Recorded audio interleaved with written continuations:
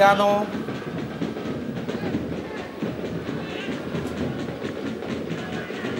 Lebar ke kiri.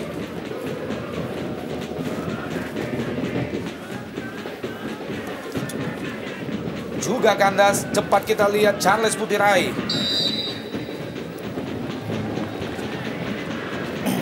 baru yang dijadikan sebagai starter oleh Eric Williams. Jauh ke depan ke kotak penalti Persela Lamongan. Tampak sempat terjadi benturan antara Patricio Jimenez dengan salah seorang pemain bertahan Persela Bung. Ini adalah pemain yang juga sangat loyal membela Panji PSMS Medan musim kedua Jimenez bersama PSMS.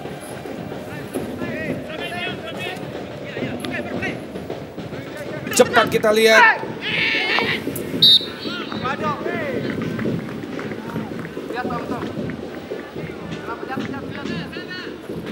Kita lihat bagaimana Tommy Rifka tadi dapat gangguan ketika melakukan duel bersama Fadli Hariri. Sepertinya tangannya terkena ayunan kaki dari Fadli hari ini. Dan ini dia sebuah tendangan yang sangat bagus dari Alex Robinson. Kita melihat beberapa kali dalam durasi 5 menit. Sudah dilakukan pendek menyusup tanah bung. Coba kembali Tommy Rifka. Masih Persela. Kali ini lepas. PSMS Medan, Makinwa Henry, pendek ke belakang, Leonardo Di Meli, terjatuh kita lihat Di Meli. Ya, satu situasi yang advantage statusnya buat PSMS Medan.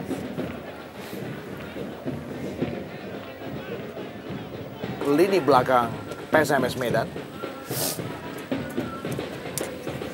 Alex Robinson melebar ke kiri, ada Charles Putirai kembali ke Robinson.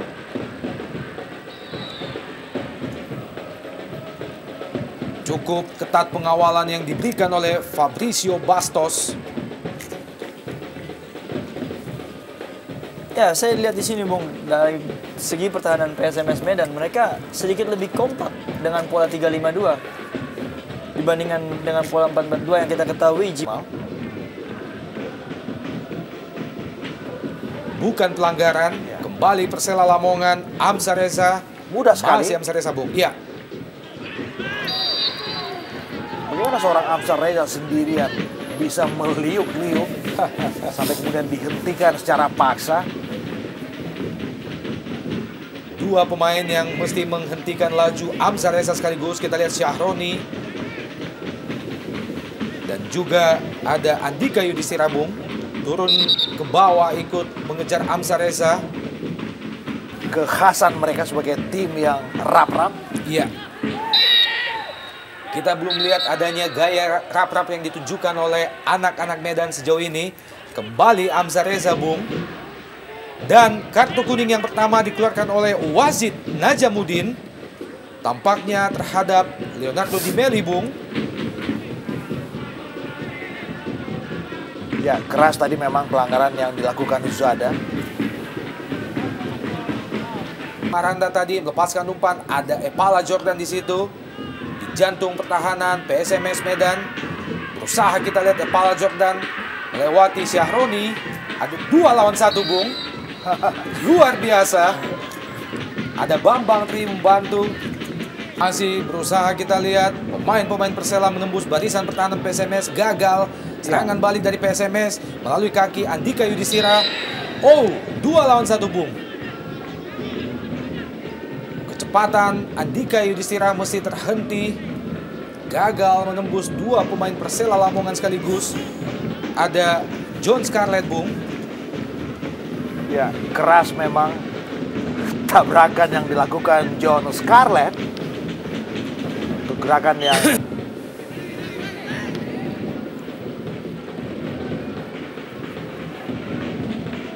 Sebuah duel yang cukup seru antara Sosa Bung Sousa dan juga Syahroni Libero PSMS Medan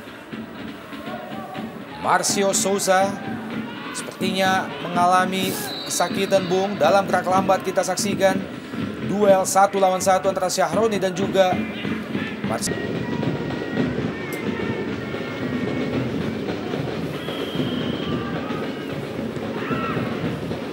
Gagal lagi.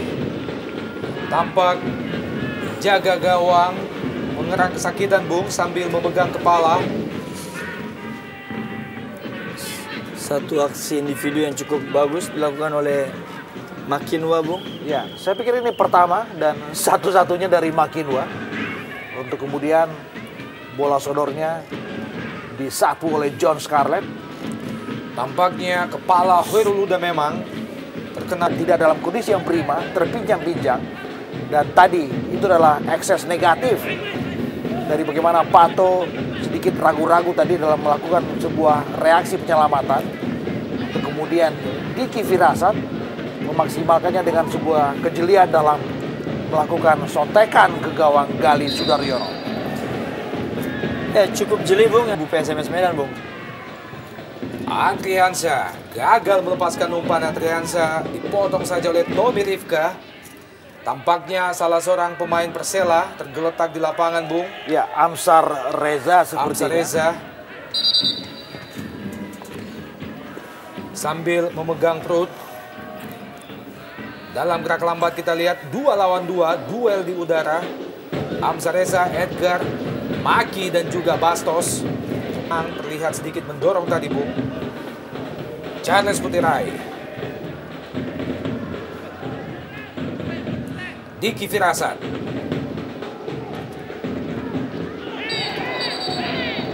Kembali Ya. jatuh. Saya pikir kartu ini Ya. ya sebuah harga yang pantas untuk gerakan yang saya pikir tidak mencerminkan sikap fair play dari Syahroni. Keras tadi.